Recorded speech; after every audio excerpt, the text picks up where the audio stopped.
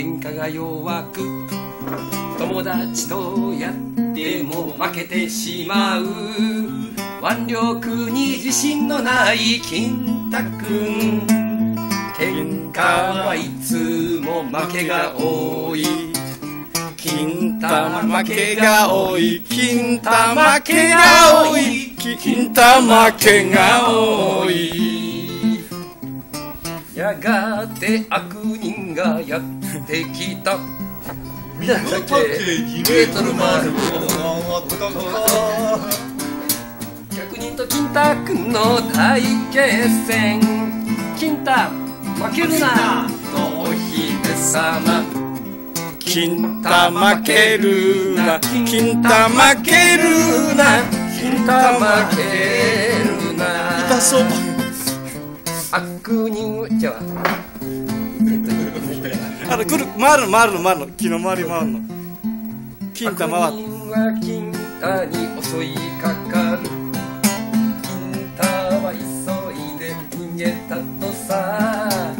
そこにあったは大きな木。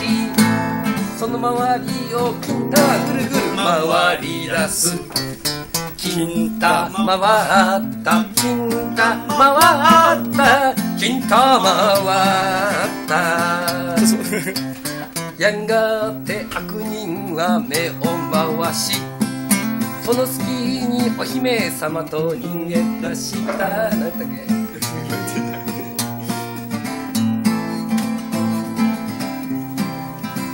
あマカオにする金玉マカオにす。るいきますか？だからマスカット。マスカット。マスカット。マスカットしばらく行くと金太くんお腹が空いたのすごいに気がついた。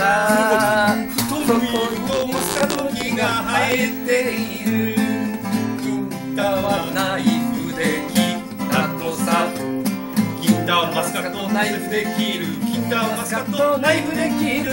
金太はマスカットナイフで切る。痛そうお腹の膨れた金太くんさらに安全なマカオに行くことにした。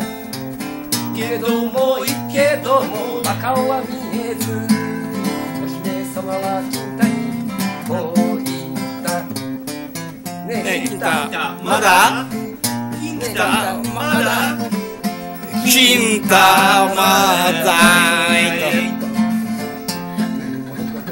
い加減にせよ名古屋やねこれなえ名古屋名古屋のそう今も今やってますよ番組、まあ、今現役で。やってますよあの本願寺ブルースで知ってますしてます。しもう小学生と聞いたらもう終わりいやいやいや小学生幼稚園吉田松陰物語とかね。そそれあかんそれあかん。それ言うたらあかんっちゅうの。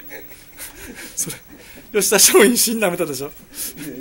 土曜日の夕方は KBS 局やってますよ。今あの違う違う違うそのあの坪井のりを。おまんさんは。あかんがお前の方でやめやめて。それあかんっちゅう。全部撮ってますよ今。スマホで